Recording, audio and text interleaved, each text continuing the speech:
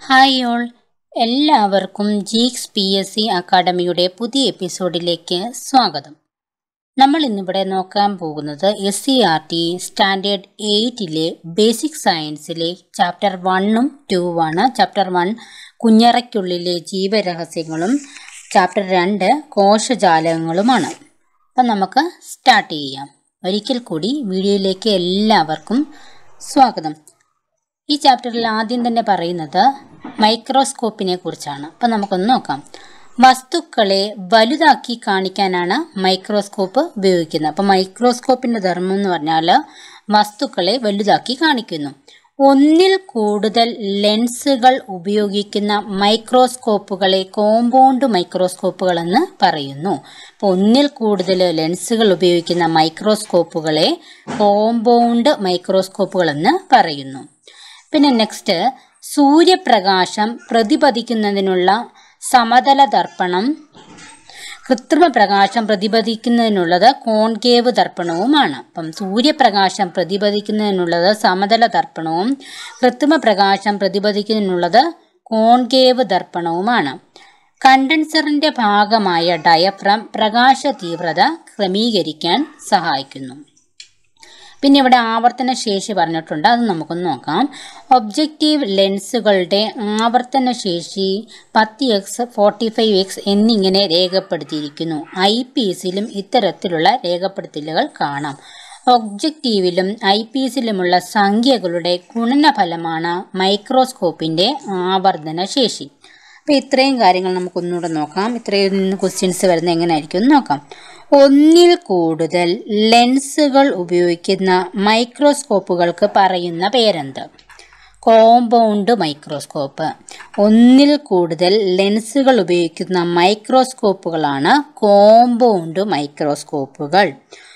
Next ഒരു മൈക്രോസ്കോപ്പിൽ പ്രകാശ തീവ്രത ക്രമീകരിക്കാൻ സഹായിക്കുന്ന ഭാഗം ഏത്? ഡയഫ്രം ഒരു മൈക്രോസ്കോപ്പിൽ പ്രകാശ തീവ്രത ക്രമീകരിക്കാൻ സഹായിക്കുന്ന ഭാഗം ഏത്? ഡയഫ്രം. മൈക്രോസ്കോപ്പിൽ സൂര്യപ്രകാശം പ്രതിപതിക്കാൻ ഉപയോഗിക്കുന്ന ദർപ്പണം സമതല ദർപ്പണം. മൈക്രോസ്കോപ്പിൽ സൂര്യപ്രകാശം പ്രതിപതിക്കാൻ ഉപയോഗിക്കുന്ന ദർപ്പണം ഏത്? സമതല ദർപ്പണം. കൃത്രിമ പ്രകാശം പ്രതിപതിക്കുന്നതിനുള്ള ദർപ്പണം ഏതാണ്? കോൺകേവ് ദർപ്പണം. കൃത്രിമ പ്രകാശം പ്രതിപദിക്കുന്നുള്ള ദർപ്പണമാണ് കോൺകേവ് ദർപ്പണം. പിന്നെ നെക്സ്റ്റ് ഒരു ഇമ്പോർട്ടന്റ് പോയിന്റ് ആവർത്തന ശേഷി എന്ന് പറഞ്ഞാൽ എന്താണ്? ആവർത്തന ശേഷി എന്ന് പറഞ്ഞാൽ ഒബ്ജക്റ്റീവിലും ഐ പീസിലുമുള്ള സംഖ്യകളുടെ ഗുണഫലമാണ് മൈക്രോസ്കോപ്പിന്റെ ആവർത്തന ശേഷി ഓക്കെ നെക്സ്റ്റ് നമ്മൾ നോക്കാൻ പോകുന്നത് കോശങ്ങളെക്കുറിച്ച് ആണ് ഓരോരുത്തർ കണ്ടുപിടിച്ച കാര്യം. നമുക്ക് നോക്കാം. ലളിതമായ ഒരു മൈക്രോസ്കോപ്പിന്റെ സഹായത്താൽ ആദ്യമായി കോശങ്ങളെ നിരീക്ഷിച്ചത് റോബോട്ട് ഹുക്ക് എന്ന ശാസ്ത്രജ്ഞനാണ്. കോർക്കിന്റെ ഛേദം മൈക്രോസ്കോപ്പിലൂടെ നിരീക്ഷിച്ചപ്പോൾ കണ്ട ചെറിയ അറകളെ അദ്ദേഹം സെൽ എന്ന് വിളിച്ചു. ഇന്ന് സത്വരം വികസിച്ചുകൊണ്ടിരിക്കുന്ന ബൃഹത്തായ ശാസ്ത്രശാഖയാണ് കോശപഠനം. ഇത് കോശവിജ്ഞാനീയം എന്നറിയപ്പെടുന്നു സെൽ ബയോളജി സൂക്ഷ്മജീവികളായ രോഗാണുക്കളെ നിരീക്ഷിക്കാനും പഠിക്കാനും നമ്മെ പ്രാപ്തരാക്കിയത് മൈക്രോസ്കോപ്പുകളുടെ കണ്ടെത്തലാണ്. ചികിത്സാ രംഗത്ത് ഇത് വൻ മുന്നേറ്റത്തിന് വഴിയൊരുക്കി. ഒരു കാലത്ത് ലോകത്തെ ഭീതിയിലാഴ്ത്തിയ രോഗങ്ങളെ നിയന്ത്രണ വിധേയമാക്കാൻ നമുക്ക് കഴിഞ്ഞത് കാഴ്ചയുടെ പരിമിതികൾ മറികടക്കാൻ ഉതകുന്ന ഇത്തരം ഉപകരണങ്ങളുടെ സഹായം കൊണ്ട് കൂടിയാണ്. ഈ ബോക്സ് അത്ര ഇമ്പോർട്ടന്റ് ഒന്നുമല്ല. ജസ്റ്റ് വായിച്ചാൽ മതി. പിന്നെ ഒരു ഇമ്പോർട്ടന്റ് പോയിന്റാണിത് റോബോട്ട് ബ്രൗൺ കോശ കേന്ദ്രം കണ്ടെത്തിയത് റോബോട്ട് ബ്രൗൺ ആണ്. അതിനെ ന്യൂക്ലിയസ് എന്ന് വിളിച്ചു. എന്നാണ് ആയിരത്തി എണ്ണൂറ്റി മുപ്പത്തൊന്നിൽ ആയിരത്തി എണ്ണൂറ്റി മുപ്പത്തൊന്നിൽ കോശ കേന്ദ്രം കണ്ടെത്തിയത് റോബോട്ട് ബ്രൗൺ ആണ്. അതിനെ അദ്ദേഹം ന്യൂക്ലിയസ് എന്ന് വിളിച്ചു. നെക്സ്റ്റ് ആയിരത്തി എണ്ണൂറ്റി മുപ്പത്തി എട്ടിൽ സസ്യശരീരം കോശങ്ങളാൽ നിർമ്മിതമാണെന്ന് കണ്ടെത്തി. ആര്? എം. ജെ. സ്ലീഡൻ സസ്യശരീരം കോശങ്ങളാൽ നിർമ്മിതമാണെന്ന് കണ്ടെത്തിയതാര്? എം. ജെ. സ്ലീഡൻ എന്നാണ് ആയിരത്തി എണ്ണൂറ്റി മുപ്പത്തി എട്ടിൽ പിന്നെ തൊട്ടടുത്ത വർഷം തന്നെ അതായത് ആയിരത്തി എണ്ണൂറ്റി മുപ്പത്തി ഒമ്പതിൽ തിയോഡർ ഷാൻ എന്ന ശാസ്ത്രജ്ഞൻ ജന്തു ശരീരം കോശങ്ങളാൽ നിർമ്മിതമാണെന്ന് കണ്ടെത്തി. പിന്നെ ആയിരത്തി എണ്ണൂറ്റി അൻപത്തി എട്ടിൽ റുഡോൾഫ് വിർഷോ എന്ന ശാസ്ത്രജ്ഞൻ വിഭജിക്കുന്ന കോശങ്ങളെ നിരീക്ഷിച്ചു. നിലവിലുള്ള കോശങ്ങളിൽ നിന്നും മാത്രമാണ് പുതിയവ ഉണ്ടാകുന്നതെന്ന നിഗമനം രൂപീകരിച്ചു. അപ്പോൾ ഇത്രയും പോർഷൻ നമുക്ക് ഒരിക്കൽ കൂടി നമുക്ക് നോക്കാം. ലളിതമായ ഒരു മൈക്രോസ്കോപ്പിന്റെ സഹായത്താൽ ആദ്യമായി കോശങ്ങളെ നിരീക്ഷിച്ചതാര്? Robert Hooke. റോബർട്ട് ഹുക്കാണ് ലളിതമായ ഒരു മൈക്രോസ്കോപ്പിന്റെ സഹായത്താൽ ആദ്യമായി കോശങ്ങളെ നിരീക്ഷിച്ചത്. കോശകേന്ദ്രം കണ്ടെത്തി അതിനെ ന്യൂക്ലിയസ് എന്ന് വിളിച്ച ശാസ്ത്രജ്ഞൻ ആര് എന്ന്. ആയിരത്തി എണ്ണൂറ്റി മുപ്പത്തിയൊന്നിൽ ആരായിരുന്നു? റോബോട്ട് ബ്രൗൺ ആണ്. കോശകേന്ദ്രം കണ്ടെത്തി അതിനെ ന്യൂക്ലിയസ് എന്ന് വിളിച്ചത്. സസ്യശരീരം കോശങ്ങളാൽ നിർമ്മിതമാണെന്ന് കണ്ടെത്തിയ ശാസ്ത്രജ്ഞനാര് ഏത് വർഷം? എം. ജെ. സ്ലീഡൻ ആയിരത്തി എണ്ണൂറ്റി മുപ്പത്തി എട്ടിൽ ജന്തു ശരീരം കോശങ്ങളാൽ നിർമ്മിതമാണെന്ന് കണ്ടെത്തിയ ശാസ്ത്രജ്ഞനാര് ഏത് വർഷം? തിയോഡർ ഷാനാണ്. ആയിരത്തി എണ്ണൂറ്റി മുപ്പത്തി ഒൻപതിൽ വിഭജിക്കുന്ന കോശങ്ങളെ നിരീക്ഷിച്ചുകൊണ്ട് നിലവിലുള്ള കോശങ്ങളിൽ നിന്നും മാത്രമാണ് പുതിയവ ഉണ്ടാകുന്നത് എന്ന നിഗമനം രൂപീകരിച്ച ശാസ്ത്രജ്ഞനാണ് റുഡോൾഫ് വെർഷോ എന്ന ആയിരത്തി എണ്ണൂറ്റി അൻപത്തി എട്ടിൽ അപ്പം നമുക്ക് പൊതുവായിട്ട് ഇങ്ങനെ പറയാം. കോശ സിദ്ധാന്തം രൂപപ്പെടുത്തിയ ശാസ്ത്രജ്ഞന്മാരാണ് എം ജെ സ്ലീഡനും തിയോഡർ ഷാനും അപ്പോൾ ഈ കോശ സിദ്ധാന്തം എന്തൊക്കെ കാര്യങ്ങളാണ് മുന്നോട്ട് വെച്ചതെന്ന് നമുക്കൊന്ന് നോക്കാം. അതാണ് ഇവിടെ പറയുന്നത്. എല്ലാ ജീവശരീരവും കോശനിർമ്മിതമാണ്.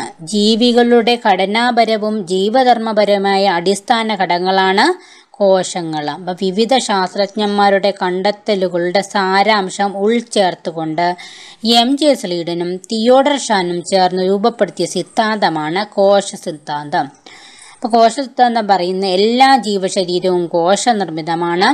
ജീവികളുടെ ഘടനാപരവും ജീവധർമ്മപരമായ അടിസ്ഥാന ഘടകങ്ങളാണ് കോശങ്ങൾ. നെക്സ്റ്റ് നമ്മൾ നോക്കാൻ പോകുന്നത് എന്തൊക്കെ ധർമ്മങ്ങളാണ് കോശങ്ങൾ നിർവഹിക്കുന്നത്? എന്തൊക്കെയായിരിക്കും? പോഷകങ്ങളിൽ നിന്ന് ഊർജം സ്വതന്ത്രമാക്കുന്നു. പോഷകങ്ങളിൽ നിന്ന് ഊർജം സ്വതന്ത്രമാക്കുന്നു. അന്യവസ്തുക്കളെ പ്രതിരോധിക്കുന്നു. ജൈവ തന്മാത്രകൾ നിർമ്മിക്കുന്നു. കോശത്തിലെ ജീവധർമ്മങ്ങളാണ് അന്യവസ്തുക്കളെ പ്രതിരോധിക്കുന്നു. പോഷകങ്ങളിൽ നിന്ന് ഊർജം സ്വതന്ത്രമാക്കുന്നു. ജൈവ തന്മാത്രകൾ നിർമ്മിക്കുന്നു. നെക്സ്റ്റ് നമ്മൾ നോക്കാൻ പോകുന്ന ജീവദ്രവ്യം കോശദ്രവ്യം കോശാംഗങ്ങൾ എന്നിവയെക്കുറിച്ചൊക്കെയാണ്. അപ്പോൾ ജീവദ്രവ്യവും കോശദ്രവ്യവും നമുക്ക് ആദ്യം ഒന്ന് നോക്കാം. കോശസ്തരത്തിനുള്ളിലെ എല്ലാ പദാർത്ഥങ്ങളെയും ചേർത്ത് ജീവദ്രവ്യം എന്ന് പറയുന്നു. ജീവദ്രവ്യത്തിൽ മർമ്മമൊഴികെയുള്ള ഭാഗമാണ് കോശദ്രവ്യം. ജീവൽ പ്രവർത്തനങ്ങൾക്ക് ആവശ്യമായ എല്ലാ ഘടകങ്ങളും കോശദ്രവ്യത്തിൽ അടങ്ങിയിട്ടുണ്ട്. ജീവധർമ്മങ്ങളുടെ നിർവഹണത്തിനായി കോശദ്രവ്യത്തിൽ കാണപ്പെടുന്ന സവിശേഷ ഘടകങ്ങളാണ് കോശാംഗങ്ങൾ. അപ്പോൾ നമുക്കൊന്നുകൂടെ നോക്കാം. കോശസ്തരത്തിനുള്ളിലെ എല്ലാ പദാർത്ഥങ്ങളെയും ചേർത്ത് ജീവദ്രവ്യം എന്ന് പറയുന്നു. കോശസ്തരത്തിനുള്ളിലെ എല്ലാ പദാർത്ഥങ്ങളെയും ചേർത്ത് ജീവദ്രവ്യമെന്ന് പറയുന്നു. ജീവദ്രവ്യത്തിൽ മർമ്മമൊഴുകിയുള്ള ഭാഗമാണ് കോശദ്രവ്യം. ജീവൽ പ്രവർത്തനങ്ങൾക്ക് ആവശ്യമായ എല്ലാ ഘടകങ്ങളും കോശദ്രവ്യത്തിൽ അടങ്ങിയിട്ടുണ്ട്. ജീവധർമ്മങ്ങളുടെ നിർവഹണത്തിനായി കോശദ്രവ്യത്തിൽ കാണപ്പെടുന്ന സവിശേഷ ഘടകങ്ങളാണ് കോശാംഗങ്ങൾ. ജീവധർമ്മങ്ങളുടെ നിർവഹണത്തിനായി കോശദ്രവ്യത്തിൽ കാണപ്പെടുന്ന സവിശേഷ ഘടകങ്ങളാണ് കോശാംഗങ്ങൾ. നെക്സ്റ്റ് നമ്മൾ നോക്കുന്ന മൈറ്റോകോൺട്രിയ എന്താണെന്ന് നോക്കും. എൻഡോപ്ലാസ്റ്റിക് എൻഡോപ്ലാസ്മിക് റെക്ടിക്കുലേറ്റം എന്താണെന്ന് നോക്കാം നമുക്കൊന്ന് നോക്കാം. മൈറ്റോകോൺട്രിയൺ കോശത്തിലെ ഊർജ നിലയമാണ് ഊർജ നിർമ്മാണത്തിനും സംഭരണത്തിനും സഹായിക്കുന്നു. ഊർജാവശ്യം കൂടുതലുള്ള കരൾ തലച്ചോർ പേശികൾ എന്നിവയിലെ കോശങ്ങൾ കൂടുതലായി കാണപ്പെടുന്നു. ഇപ്പം എന്താണ് മൈറ്റോകോൺട്രിയ അതായത് കോശത്തിലെ ഊർജ നിലയമാണ് മൈറ്റോകോൺട്രിയ ഊർജാവശ്യം കൂടുതലുള്ള കരൾ തലച്ചോറ് പേശികൾ എന്നിവയിലെ കോശങ്ങളിൽ കൂടുതലായി കാണപ്പെടുന്ന കോശാംഗമാണ് മൈറ്റോകോൺട്രിയൻ കോശത്തിനുള്ള സഞ്ചാരപാത. കോശത്തിനുള്ള സഞ്ചാരപാത. കോശത്തിനുള്ളിൽ പദാർത്ഥ സംവഹനം നടക്കുന്നത് ഇതിലൂടെയാണ് അതാണ് എൻഡോപ്ലാസ്മിക് റെറ്റിക്കുലേറ്റം. കോശത്തിനുള്ളിലെ സഞ്ചാരപാത കോശത്തിനുള്ളിൽ പദാർത്ഥ സംവഹനം നടക്കുന്നത് കോശത്തിന് ദൃഢതയും ആകൃതിയും നൽകുന്നതിനാൽ കോശാസ്തികൂടം എന്നും അറിയപ്പെടുന്നു. ഏതാ? എൻഡോപ്ലാസ്മിക് റെറ്റിക്കുലേറ്റ് ഈ പറയുന്നതൊക്കെ വളരെയധികം ഇമ്പോർട്ടന്റ് ആണ്. എൻഡോപ്ലാസ്മിക് റെറ്റിക്കുലേറ്റ് എന്ന് പറഞ്ഞാൽ കോശത്തിന് ദൃഢതയും ആകൃതിയും നൽകുന്നതിനാൽ കോശാസ്ഥികൂടം എന്നറിയപ്പെടുന്നു. കോശത്തിലെ കോശാസ്ഥികൂടം എന്നറിയപ്പെടുന്ന ഭാഗമാണ് എൻഡോപ്ലാസ്മിക് റെറ്റിക്കുലേറ്റം. കോശത്തിനുള്ളിലെ സഞ്ചാരപാതയാണ് എൻഡോപ്ലാസ്മിക് റെറ്റിക്കുലേറ്റം. കോശത്തിനുള്ളിലെ സഞ്ചാരപാതയാണ് എൻഡോപ്ലാസ്മിക് റെറ്റിക്കുലേറ്റം. കോശത്തിനുള്ളിൽ പദാർത്ഥ സമ്മാനം നടക്കുന്നത് എവിടെയാണ്? എൻഡോപ്ലാസ്മിക് റെറ്റിക്കുലേറ്റം നെക്സ്റ്റ് റൈബോസോം കോശത്തിലെ മാംസനിർമ്മാണ കേന്ദ്രമാണ് റൈബോസം എൻഡോപ്ലാസ്മിക് റെറ്റിക്കുലത്തോട് ചേർന്നോ? കോശദ്രവ്യത്തിൽ സ്വതന്ത്രമായോ? കാണപ്പെടുന്നു. കോശത്തിലെ മാംസനിർമ്മാണ കേന്ദ്രമാണ് റൈബോസോം. കോശത്തിലെ മാംസനിർമ്മാണ കേന്ദ്രമാണ് റൈബോസോം.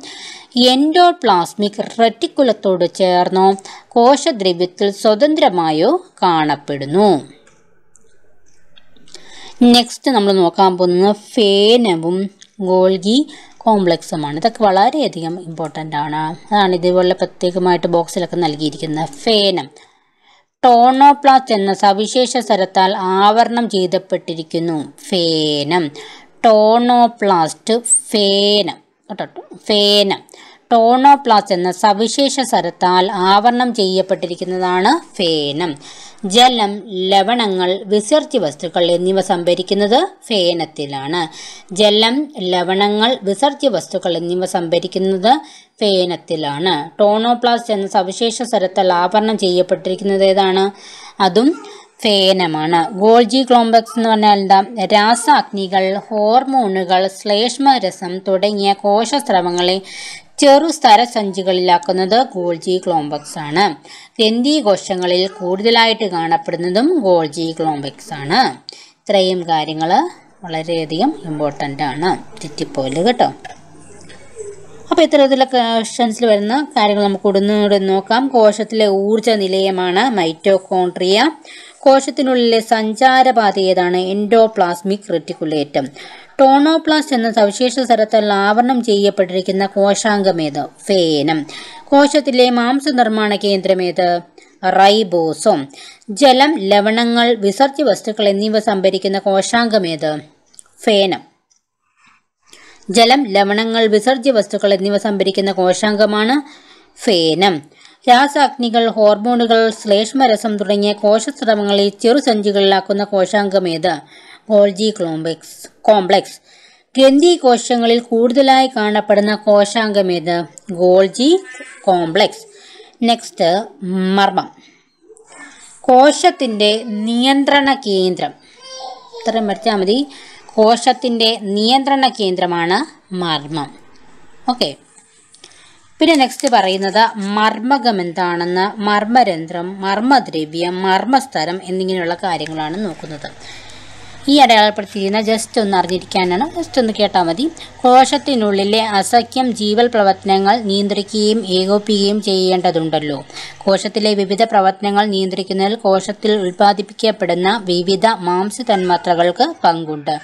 ഇവയുടെ നിർമ്മാണം നടക്കുന്നത് മർമ്മത്തിലെ ക്രൊമാറ്റിൻ ജാലികയിലെ ജീനുകളുടെ നിയന്ത്രണത്തിലാണ്. അതിനാൽ മർമ്മം കോശത്തിന്റെ നിയന്ത്രണ കേന്ദ്രമാണെന്ന് പറയും. അപ്പം മർമ്മം കോശത്തിന്റെ നിയന്ത്രണ കേന്ദ്രം എന്നറിയപ്പെടുന്നത് മർമ്മം. മർമ്മസാനമാണ് നിയന്ത്രണ കേന്ദ്രം. പിന്നെ ഇതിൽ ഓരോ കാര്യങ്ങൾ നമുക്ക് നോക്കാം. മർമ്മദ്രവ്യം എന്ന് പറഞ്ഞാൽ മർമ്മത്തിനുള്ളിലെ ദ്രാവക ഭാഗമാണ് ദ്രവ്യം. ദ്രവ്യം എന്ന് പറഞ്ഞാൽ ദ്രാവക ഭാഗമാണ്. മർമ്മകവും ക്രൊമാറ്റിൻ ജാലികയും കാണപ്പെടുന്നു. മർമ്മത്തിനുള്ളിലെ ദ്രാവക ഭാഗമാണ് മർമ്മദ്രവ്യം. മർമ്മകവും ക്രമാറ്റിൻ ജാലികയും കാണപ്പെടുന്നു. നെക്സ്റ്റ് മർമ്മസ്തരം. സ്തരം എന്ന് പറഞ്ഞാൽ എന്താ?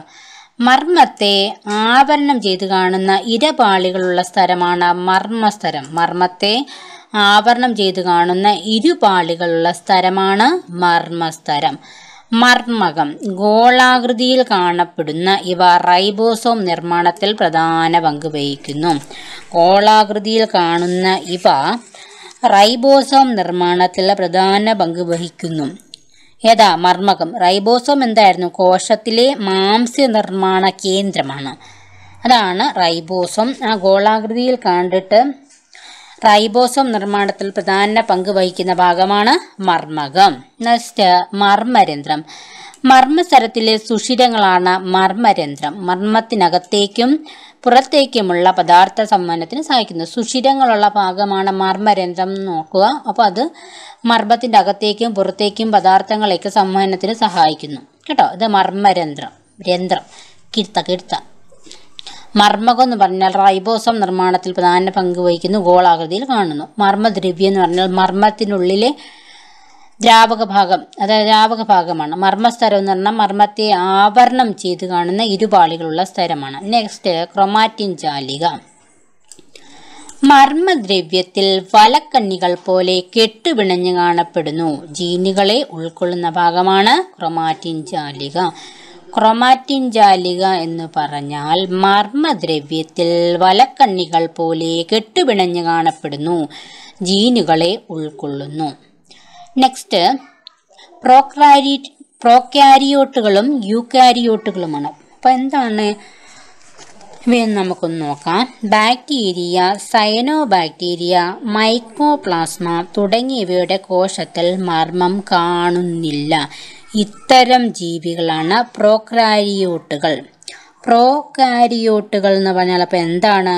കോശങ്ങളിൽ മർമ്മം കാണപ്പെടാത്ത ജീവികളാണ് പ്രോകാരിയോട്ടുകൾ എന്നറിയപ്പെടുന്നു. കോശങ്ങളിൽ മർമ്മം കാണപ്പെടാത്ത ജീവികളാണ് പ്രോകാരിയോട്ടുകൾ. എക്സാമ്പിൾ ബാക്ടീരിയ സയനോ ബാക്ടീരിയ ബാക്ടീരിയയും അതിന് മുന്നിൽ സയനോ ബാക്ടീരിയ എന്നുള്ളത് വേർന്നു ഓക്കെ അപ്പം ഇതുള്ള സാധനം കാണുമല്ലോ കോശങ്ങളിൽ മർമ്മം കാണുന്ന ഒരു കൂട്ടർ കാണുമല്ലോ അതെന്താ നമുക്ക്? കോശങ്ങളിൽ സ്ഥലത്താൽ ആവരണം ചെയ്യപ്പെട്ട വ്യക്തമായ മർമ്മം കാണപ്പെടുന്ന ജീവികളാണ് യൂക്കാരിയോട്ടുകൾ. പ്രോ എന്ന് പറഞ്ഞാൽ അവർക്കില്ല. പ്രോക്ക് ഇല്ല. യൂക്കാരിയോട്ടുകൾക്ക് ഉണ്ട്. എന്താ? കോശങ്ങളിൽ മർമ്മം കാണപ്പെടാത്ത ജീവികളാണ്. പ്രോകാരിയോട്ടുകൾ കോശങ്ങളിൽ സ്ഥലത്താൽ ആവരണം ചെയ്യപ്പെട്ട് വ്യക്തമായ മർമ്മം കാണപ്പെടുന്ന ജീവികളാണ് യൂക്കാരിയോട്ടുകൾ. അപ്പോൾ ഇതിന് ഉദാഹരണം എന്തൊക്കെയാണ്? അമീബ ജന്തുക്കൾ സസ്യങ്ങൾ ഇതൊക്കെ യൂക്കാരിയോട്ടുകളാണ്. നെക്സ്റ്റ് പറഞ്ഞിരിക്കുന്ന ഇമ്പോർട്ടന്റ് പോയിന്റ് ജീവസ്തരങ്ങളാണ്. നോക്കാം. കോശത്തിനൊരു സ്തര ആവരണമുണ്ടെന്ന് നമ്മൾ കണ്ടു. ഈ ആവരണത്തെയാണ് കോശത്തെ സമീപ കോശങ്ങളിൽ നിന്നും വേർതിരിക്കുന്നത്. കോശത്തിന് മാത്രമല്ല മർമ്മത്തിനും മിക്ക കോശങ്ങൾക്കും സ്തരാവരണമുണ്ട് കോശങ്ങൾ തമ്മിലും കോശാംഗങ്ങളും കോശദ്രവ്യവും തമ്മിലും ഉള്ള പദാർത്ഥ വിനിമയം നിയന്ത്രിക്കുന്ന ജീവസ്തരങ്ങളാണ്. ആവശ്യമായ പദാർത്ഥങ്ങളെ മാത്രം കടത്തിവിടുന്നാൽ ഈ സ്ഥലങ്ങൾ വരണധാര്യ സ്ഥലങ്ങൾ എന്നറിയപ്പെടുന്നു. അപ്പോൾ അതൊന്നുമില്ലേ ഇമ്പോർട്ടന്റ് ഇത്രയില്ല. അതിന്റെ അത് ഇമ്പോർട്ടന്റ് പോർഷൻ എന്താണെന്ന് ഞാൻ പറയാം. ഒരു കോശത്തെ സമീപ കോശങ്ങളിൽ നിന്നും വേർതിരിക്കുന്നത് എന്ത്? അതാണ് സ്ഥരാവരണം. ഒരു കോശത്തെ സമീപ കോശങ്ങളിൽ നിന്നും വേർതിരിക്കുന്നത് എന്താണെന്ന് ചോദിച്ചാൽ സ്ഥരാവരണം. ആവശ്യമായ പദാർത്ഥങ്ങളെ മാത്രം കടത്തിവിടുന്നതിനാൽ ഈ സ്ഥലങ്ങൾ അറിയപ്പെടുന്ന പേരെന്താ? വരണധാര്യ സ്ഥലങ്ങൾ ആവശ്യമായ പദാർത്ഥങ്ങളെ മാത്രം കടത്തിവിടുന്നതിനാൽ ഈ സ്ഥലങ്ങൾ അറിയപ്പെടുന്ന പേരാണ് വരണതാര്യ സ്ഥലങ്ങൾ പിന്നെ നെക്സ്റ്റ് ജൈവഗണങ്ങൾ. സസ്യകോശങ്ങളിലെ മാത്രം കാണപ്പെടുന്ന കോശാംഗങ്ങളാണ് ഈ ജൈവഗണങ്ങൾ എന്നറിയപ്പെടുന്നത്. അതാണ് ഇവിടെ പറഞ്ഞിരിക്കുന്നത്. അപ്പോൾ നമുക്കൊന്ന് നോക്കാം. സസ്യകോശങ്ങളിൽ മാത്രം കാണപ്പെടുന്ന കോശാംഗങ്ങളാണ് ജൈവഗണങ്ങൾ ഇവ മൂന്ന് തരമുണ്ട്. വർണഗണം ഹരിതഗണം ശ്വേതകണം ക്രോമോപ്ലാസ്റ്റ് ക്ലോറോപ്ലാസ്റ്റ് ലൂക്കോപ്ലാസ്റ്റ്. പ്രകാശ സംശ്ലേഷം നിർവഹിക്കുന്ന ഹരിതകണമാണെന്ന് നമ്മൾക്കറിയാം. വർണഗണങ്ങളാൽ പൂക്കൾ ഫലങ്ങൾ എന്നിവയ്ക്ക് നിറം നൽകുന്നു. വർണകണങ്ങളിലെ ചില വർണങ്ങളാണ് സാന്തോഫിൽ കരോട്ടിൻ ആന്തോസയാനിൻ എന്നിവ. ഇവയുടെ ഏറ്റക്കുറിച്ചിലാണ് സസ്യഭാഗങ്ങൾക്ക് വിവിധ നിറങ്ങൾ നൽകുന്നത്. പ്രത്യേക നിറമില്ലാത്ത ജൈവകണങ്ങളാണ് ശ്വേതകണങ്ങൾ. ആഹാരവസ്തുക്കളുടെ സംഭരണം നടക്കുന്ന കോശങ്ങളിൽ ശ്വേതകണങ്ങൾ കൂടുതലായി കാണപ്പെടുന്നു. പാകമാകുന്നതിനനുസരിച്ച് ഫലങ്ങളിലെ ഹരിതഗണങ്ങൾ വർണകണമായി മാറുന്നു. അന്നജം പഞ്ചസാരയായി മാറുന്നു. ഇതാണ് പഴങ്ങളുടെ നിറമാറ്റത്തിനും രുചിമാറ്റത്തിനും പിന്നിൽ രഹസ്യം. ഇത്രയും പോർഷൻസിലെ കാര്യങ്ങൾ നമുക്കൊന്നുകൂടി ഒന്ന് നോക്കാം. ഇതിൽ നിന്ന് ക്വസ്റ്റ്യൻസ് ഒക്കെ വരുന്നത് എങ്ങനെയാണെന്ന് നോക്കാം. സസ്യകോശങ്ങളിൽ മാത്രം കാണപ്പെടുന്ന കോശാംഗങ്ങൾ ഏത് ജൈവകണങ്ങൾ. സസ്യകോശങ്ങളിൽ മാത്രം കാണപ്പെടുന്ന കോശാംഗങ്ങൾ ഏതാണ്? അതാണ് ജൈവകണങ്ങൾ. ജൈവഗണങ്ങൾ എത്ര തരമുണ്ട്? ഏതെല്ലാം? ജൈവഗണങ്ങൾ മൂന്ന് തരമുണ്ട്. വർണഗണം ഹരിതഗണം ശേതഗണം അപ്പോൾ സ്വാഭാവികമായിട്ടും ഇവ ഓരോന്നും എന്താണെന്ന് നമുക്കൊന്ന് നോക്കാം. വർണഗണം എന്ന് പറഞ്ഞാൽ വർണം നിറം എന്ന് ഓർത്താൽ മതി. പൂക്കൾ ഫലങ്ങൾ എന്നിവയ്ക്ക് നിറം നൽകുന്നു. വർണഗണത്തിന്റെ ഏറ്റക്കുറിച്ചിലാണ് സസ്യഭാഗങ്ങൾക്ക് വിവിധ നിറങ്ങൾ നൽകുന്നത്. പ്രധാന വർണഗണങ്ങൾ ഏതൊക്കെയാണ്? സാന്തോഫിൽ. സാന്തോഫിൽ നൽകുന്ന നിറം മഞ്ഞ നിറം. കരോട്ടിൻ മഞ്ഞ കലർന്ന ഓറഞ്ച് നിറം. ആന്തോസയാനിൻ ചുവപ്പ് പർപ്പിൾ നിറങ്ങൾ. അപ്പോൾ വർണഗണം എന്താണെന്ന് ജൈവഗണം എന്ന് പറഞ്ഞാൽ എന്താണെന്ന് നോക്കി. ജൈവഗണങ്ങൾ മൂന്ന് തരമുണ്ട്. വർണഗണം ഹരിതഗണം ശ്വേതഗണം. ഈ വർണ പ്രധാനപ്പെട്ട വർണഗണങ്ങൾ ഏതൊക്കെയാണ് നമ്മളിപ്പോൾ നോക്കി? സാന്തോഫിൽ കരോട്ടിന് ആന്തോസയാൻ ഹരിതഗണം എന്താന്ന് നോക്കാം. ഹരിതഗണം നമുക്ക് എല്ലാവർക്കും അറിയാം. പ്രകാശ സംശ്ലേഷണം നിർവഹിക്കുന്നു. ഹരിതം പച്ച. ശ്വേതഗണം. ശ്വേതം എന്ന് പറഞ്ഞാൽ വെള്ള എന്നാണ്. അപ്പം ഒരു പ്രത്യേക നിറമില്ലാത്ത ജൈവഗണമാണ് ശ്വേതഗണം. പിന്നെ നമുക്കറിയാം പഴങ്ങൾക്കൊക്കെ നിറമാറ്റവും രുചിമാറ്റവും ഒക്കെ ഉണ്ടാകുന്നു. അപ്പോൾ അതിന്റെ കാരണമൊക്കെ എന്താണെന്ന് നമുക്ക് നോക്കാം. ആഹാര വസ്തുക്കളുടെ സംഭരണം നടക്കുന്ന കോശങ്ങളിൽ ശ്വേതഗണങ്ങൾ കൂടുതലായി കാണപ്പെടുന്നു. പാകമാകുന്നതനുസരിച്ച് ഫലങ്ങളിലെ ഹരിതഗണങ്ങൾ വർണഗണങ്ങളായി മാറുന്നു. അന്നജം പഞ്ചസാരകളായും മാറുന്നു. ഇതാണ് പഴങ്ങളുടെ നിറമാറ്റത്തിനും രുചിമാറ്റത്തിനും കാരണം. പാകമാകുന്നതിനനുസരിച്ച് ഫലങ്ങളിലെ ഹരിതഗണങ്ങൾ ഹരിതഗണങ്ങൾ ആ പച്ചക്കളർ അത് വർണഗണമായിട്ട് മാറുന്നു. അന്നജം പഞ്ചസാരയായിട്ട് മാറുന്നു. ഇതാണ് നിറമാറ്റത്തിനും രുചിമാറ്റത്തിനും കാരണം. നിറമാറ്റത്തിന് കാരണം എന്താണ്? ഹരിതഗണം വർണഗണമാകുന്നു. രുചിമാറ്റവോ അന്നജം എന്നുള്ളത് പഞ്ചസാരയായിട്ട് മാറുന്നു. ഇത്രയുമാണ് ഇവിടെ പറഞ്ഞിരിക്കുന്നത്. നെക്സ്റ്റ് പറഞ്ഞിരിക്കുന്നത് ജീവസ്തരം. സെൻട്രോസോമും ലൈസോസോമും. അതുകൂടെ നമുക്കൊന്ന് നോക്കാം. ജീവസ്തരം എന്ന് പറഞ്ഞാൽ കോശങ്ങൾ തമ്മിലും കോശാംഗങ്ങളും കോശദ്രവ്യവും തമ്മിലുള്ള പദാർത്ഥ വിനിമയം നടക്കുന്നത് ജീവസ്തരങ്ങളിലാണ്. സെൻട്രോസോം ജന്തുകോശങ്ങളിൽ മാത്രം കാണപ്പെടുന്ന കോശാംഗം ഇത് പല പി എസ് സി പരീക്ഷകളിൽ ഇതിന് മുന്നേ ചോദിച്ചിട്ടുണ്ട്. ഇതെന്നല്ല ഈ ചാപ്റ്റർ വളരെയധികം ഇമ്പോർട്ടന്റ് ആണ്. പല ഭാഗത്തുനിന്ന് ഇതിന് മുന്നേ ക്വസ്റ്റ്യൻസ് ഒക്കെ ചോദിച്ചിട്ടുണ്ട്. ജന്തുകോശങ്ങളിൽ മാത്രം കാണപ്പെടുന്ന കോശാംഗമേത് സെൻട്രോസോം. കോശവിഭജനത്തിൽ പ്രധാന പങ്ക് വഹിക്കുന്ന സെൻട്രിയോളുകൾ കാണപ്പെടുന്നത് സെൻട്രോസോമിലാണ്. അപ്പം ജന്തുകോശങ്ങളിൽ മാത്രം കാണപ്പെടുന്ന കോശാംഗമാണ് സെൻട്രോസോം. കോശവിഭജനത്തിൽ പ്രധാന പങ്ക് വഹിക്കുന്ന സെൻട്രിയോളുകൾ കാണപ്പെടുന്ന ഭാഗമേത് സെൻട്രോസോം. ലൈസോസോം എന്ന് പറഞ്ഞാൽ എന്താണ്? കോശത്തിനുള്ളിൽ പ്രവേശിപ്പിക്കുന്ന അന്യവസ്തുക്കളെ നശിപ്പിക്കാൻ വേണ്ട ദഹനരസങ്ങൾ അടങ്ങിയിരിക്കുന്നു. ജന്തുകോശത്തിൽ കാണപ്പെടുന്നു. അപ്പോൾ ലൈസോസോം കൂടി നോക്കാം. കോശത്തിനുള്ളിൽ പ്രവേശിക്കുന്ന അന്യവസ്തുക്കളെ നശിപ്പിക്കാൻ വേണ്ട ദഹനരസങ്ങൾ അടങ്ങിയിരിക്കുന്നു. പിന്നെന്താണ്? ജന്തുകോശത്തിൽ കാണപ്പെടുന്നു. ജന്തുകോശങ്ങളിൽ മാത്രം കാണപ്പെടുന്ന കോശാംഗം ഏതാണ്? അതാണ് സെൻട്രോസോം. ഇത്രയുമാണ് ഈ ചാപ്റ്ററിലെ ഇമ്പോർട്ടന്റ് ആയിട്ടുള്ള പോയിന്റ്സ് ഇനി നമുക്ക് സെക്കൻഡ് ചാപ്റ്റർ നോക്കാം. സെക്കൻഡ് ചാപ്റ്ററിന്റെ പേര് ചാപ്റ്റർ രണ്ടാണ് കോശ ജാലങ്ങൾ എന്നാണ് ചാപ്റ്റർ സെക്കൻഡിന്റെ തുടങ്ങുന്നത്. അപ്പം നമുക്കതിന്റെ കാര്യങ്ങൾ നോക്കാം. കോശങ്ങളിലെ വൈവിധ്യം. മനുഷ്യ ശരീരത്തിന്റെ ഓരോ ഭാഗവും വിവിധ തരത്തിൽപ്പെട്ട കോടിക്കണക്കിന് കോശങ്ങൾ കൊണ്ടാണ് നിർമ്മിച്ചിരിക്കുന്നത്. നാഡീകോശങ്ങൾ പേശീകോശങ്ങൾ രക്തകോശങ്ങൾ അസ്ഥികോശങ്ങൾ എന്നിങ്ങനെ മനുഷ്യ ശരീരത്തിൽ ഇരുന്നൂറോളം വ്യത്യസ്ത ഇനം കോശങ്ങളുണ്ട്. അപ്പോൾ ഇവിടുന്ന് ചോദിക്കാവുന്ന ക്വസ്റ്റ്യൻസ് മനുഷ്യ ശരീരത്തിലെ പ്രധാന കോശങ്ങൾ ഏതൊക്കെ? നാഡീകോശങ്ങൾ പേശീകോശങ്ങൾ രക്തകോശങ്ങൾ അസ്ഥികോശങ്ങൾ. നാഡീകോശങ്ങൾ പേശീകോശങ്ങൾ രക്തകോശങ്ങൾ അസ്ഥികോശങ്ങൾ.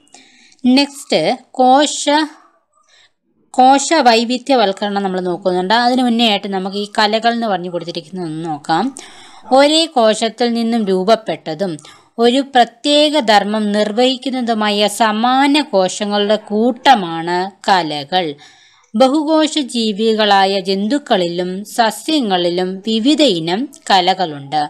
വൈവിധ്യമാർന്ന ശാരീരിക ധർമ്മങ്ങൾ കാര്യക്ഷമമായി നിർവഹിക്കുന്നതിന് കലകൾ ഒന്നിച്ചുള്ള പ്രവർത്തനം സഹായിക്കുന്നു. അപ്പം കലകൾ ടിഷ്യൂസ് എന്ന് പറഞ്ഞാൽ എന്താണ് നമുക്കൊന്ന് നോക്കാം. അപ്പോൾ ടിഷ്യൂസ് എന്ന് പറഞ്ഞാൽ ഒരേ കോശത്തിൽ നിന്നു രൂപപ്പെട്ടതും ഒരു പ്രത്യേക ധർമ്മം നിർവഹിക്കുന്നതുമായ സമാന കോശങ്ങളുടെ കൂട്ടമാണ് കലകൾ. ഒരേ കോശത്തിൽ നിന്ന് രൂപപ്പെട്ടതും ഒരു പ്രത്യേക ധർമ്മം നിർവഹിക്കുന്നതുമായ സമാന കോശങ്ങളുടെ കൂട്ടമാണ് കലകൾ ബഹുകോശ ജീവികളായ ജന്തുക്കളിലും സസ്യങ്ങളിലും വിവിധ ഇനം കലകളുണ്ട്. അപ്പം അതിനെക്കുറിച്ചാണ് നമ്മൾ ഇനി പഠിക്കുന്നതൊക്കെ. നെക്സ്റ്റ് കോശ വൈവിധ്യവൽക്കരണം സിക്താണ്ഡം എന്ന ഒറ്റ കോശത്തിൽ നിന്ന് രൂപം പ്രാപിച്ചതാണ് നമ്മുടെ ശരീരം. സിക്താണ്ഡം തുടർച്ചയായി വിഭജിച്ച് ആകൃതിയിലും വലുപ്പത്തിലും ഉള്ളടക്കത്തിലും വ്യത്യസ്തമായ കോശങ്ങൾ ചേർന്ന് ഭ്രൂണമായി മാറുന്നു. ഭ്രൂണകോശങ്ങൾ ക്രമാനുഗതമായി ഘടനയിലും ധർമ്മത്തിലും വൈവിധ്യം കൈവരിക്കുന്നു. ഈ പ്രക്രിയ കോശ വൈവിധ്യവൽക്കരണം എന്നറിയപ്പെടുന്നു ഇത് കാണാതെ പഠിക്കേണ്ട. ഒന്ന് രണ്ട് വട്ടം ഒന്ന് ജസ്റ്റ് ഒന്ന് വായിച്ചു വിട്ടാൽ മതി. ഞാൻ അറിഞ്ഞിരിക്കാൻ വേണ്ടിയിട്ടാണ്.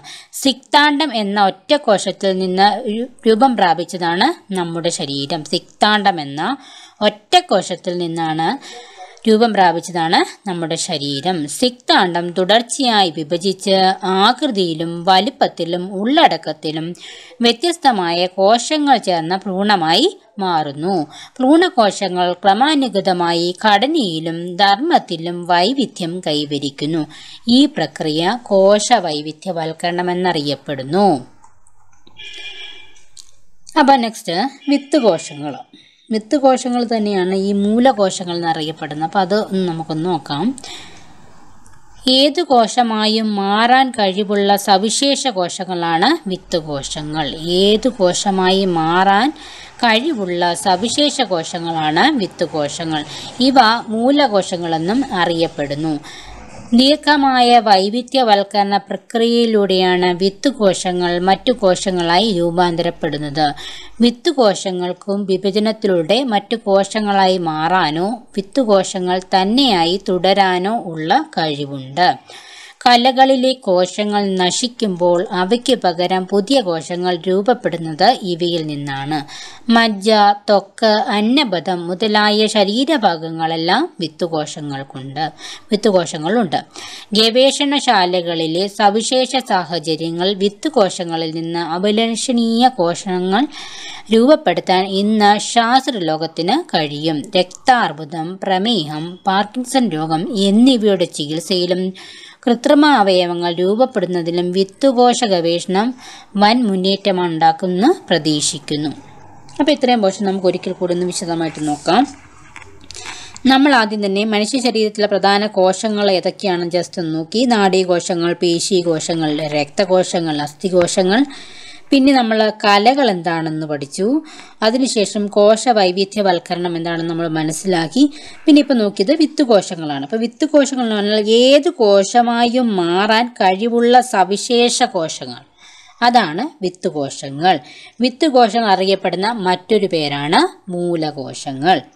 വിത്തുകോശങ്ങൾക്ക് വിഭജനത്തിലൂടെ മറ്റു കോശങ്ങളായി മാറാനോ വിത്ത് കോശങ്ങൾ തന്നെയായി തുടരാനോ ഉള്ള കഴിവുണ്ട്. വിത്ത് കോശങ്ങൾക്ക് വിഭജനത്തിലൂടെ മറ്റു കോശങ്ങളായി മാറാനോ വിത്ത് കോശങ്ങൾ തന്നെയായി തുടരാനോ ഉള്ള കഴിവുണ്ട്.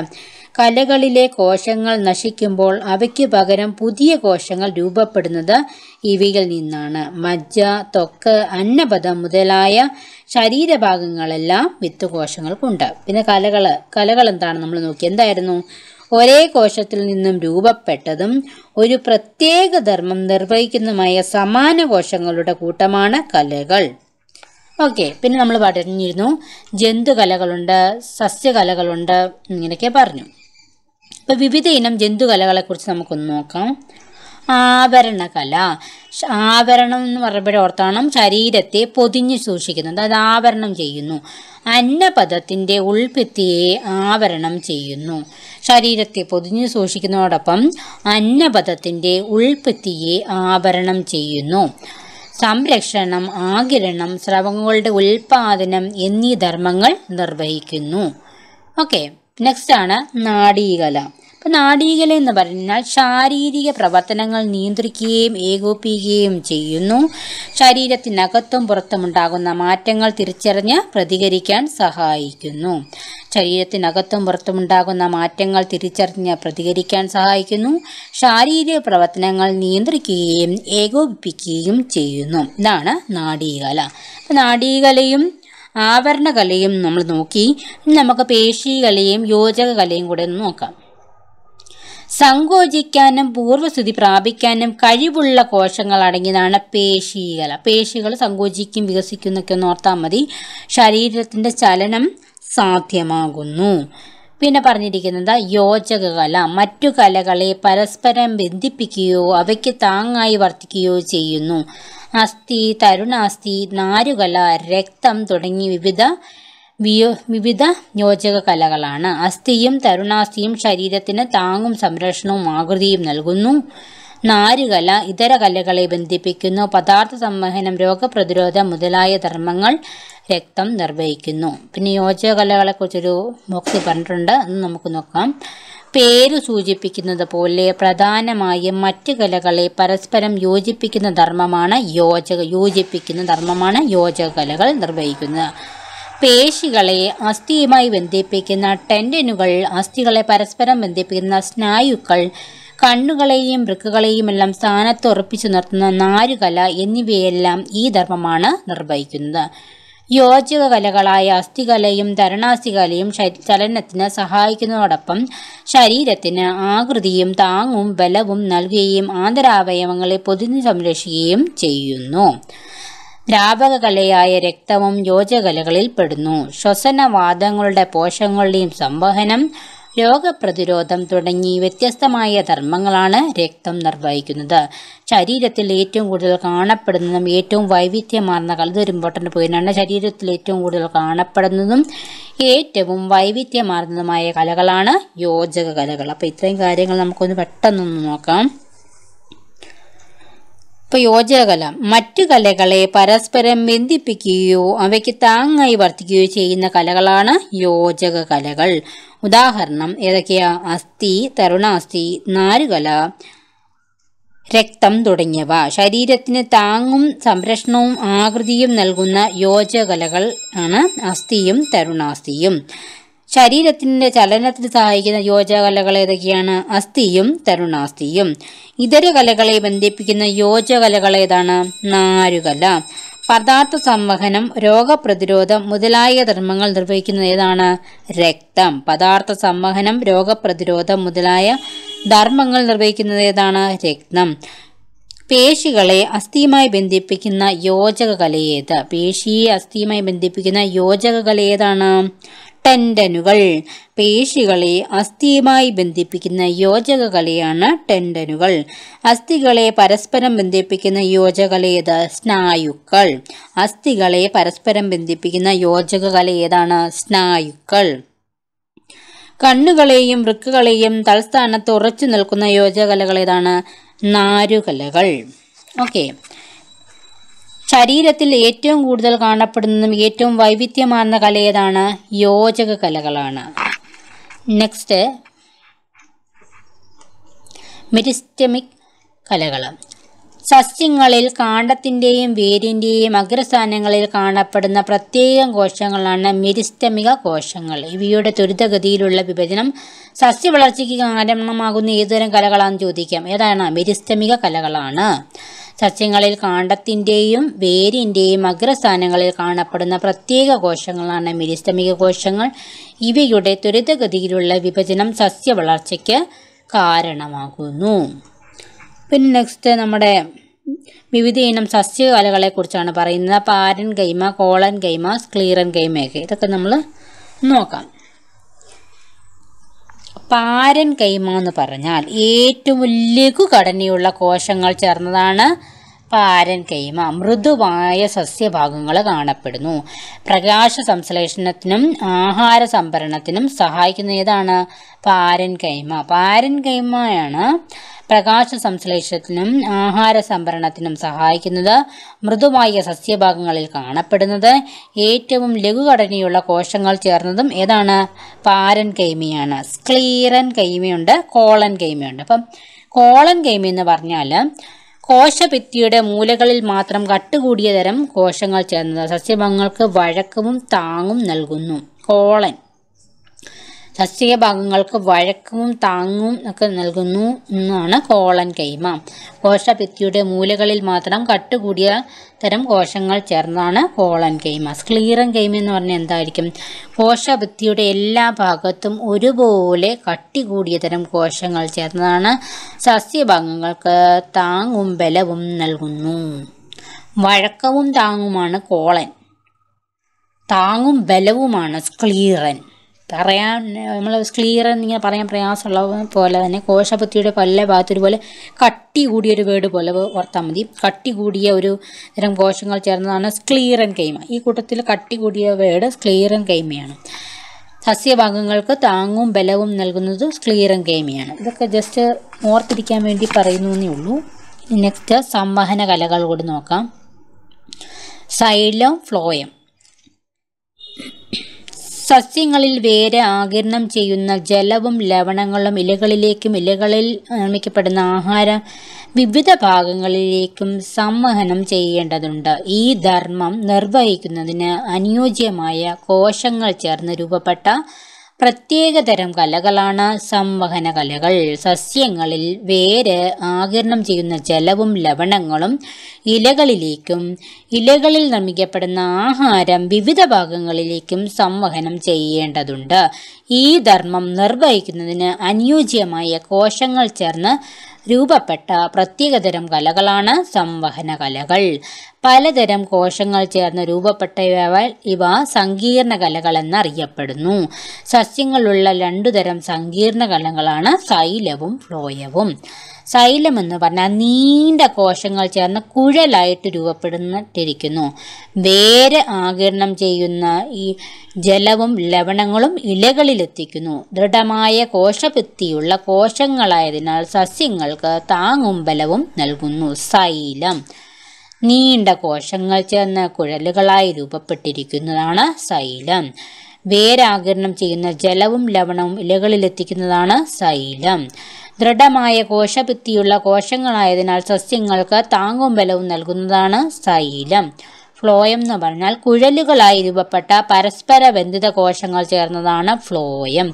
ഇലകളിൽ തയ്യാറാക്കിയ ആഹാരം സസ്യത്തിന്റെ വിവിധ ഭാഗങ്ങളിലേക്ക് എത്തിക്കുന്നു.